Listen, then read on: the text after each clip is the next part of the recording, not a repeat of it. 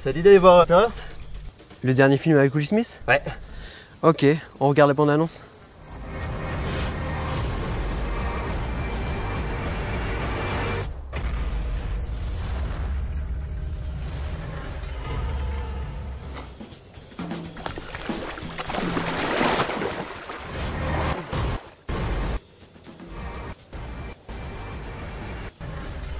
Bon, on y va? Ouais, une seconde, ça arrive.